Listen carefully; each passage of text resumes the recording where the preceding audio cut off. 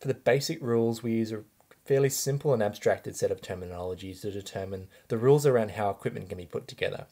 So we we refer to these um, these tiers of cables as tier one, tier two, and tier three. So the tier one cable uh, is often referred to as the drop, and it runs from the tier one closure to the uh, tier one hub. So we've got two rules for this tier: the number of ports on the tier one hub, and the uh, the length. So that the port rules we're describing here, and these are example rules, and then the length of the cable from the tier one closure to the address um, can be specified as well. And again, these are example lengths. We can include any length there that we need to. So as I mentioned, FOND will try to minimize the number of these closures, but it needs to do that within these rules. So the minimum number of closures in a design would be one, but as we can only connect four addresses to a closure, if we were to use a four port size, uh, that, that changes the way that FOND will go about connecting addresses to closures.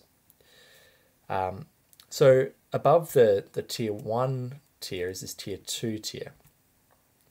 So the tier two cabinet um, is it's usually the location of the, the primary splitters in the design. Uh, and then the tier 2 cable is running from that cabinet to the closure. And we can set the sizes of cables that are valid to run between the cabinet and the closure. And we can also set the number of ports available on the cabinet as well as the split ratio that's inside that cabinet. Um, so the, this, this size here determines how many addresses can connect back to this cabinet.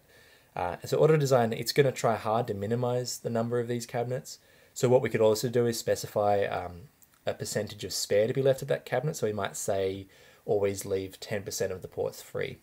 And so FOND will minimize the number of cabinets while also allowing there to be some spare for, for future growth, um, potentially. So in a centralized um, split architecture, you might place a 1 by 32 splitter at this cabinet. Um, you could create a distributed cascade split by just placing a like 9 1 by 4 splitters in the cabinet and then using a 1 by 8 splitter in the tier 1 closure. Uh, or you could just put the 1 by 32 splitter in the cabinet to have a, a centralized split design. and yeah, again, we can we can set the cable sizes that are valid for the for the tier three. So that's the the cables running between that uh, central office location or the tier two cabinet.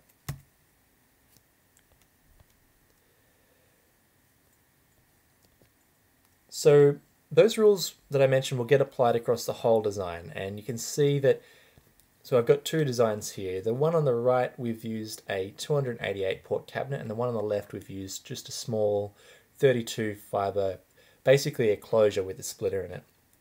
And so you can see the result there is that the tier 3 cable has to push a lot deeper into the network as the splitters are more distributed across the map. Um, and so you can see here that the one on the left has got a lot more of those green um, triangles within the hexagon um, because those those cabinets have got much less capacity than the one on the right. They've got 288 ports. And you can also see a difference when um, at the tier 1 level. So the, the tier 1 closures on the left have only got 4 ports versus the one on the right have got 8 ports.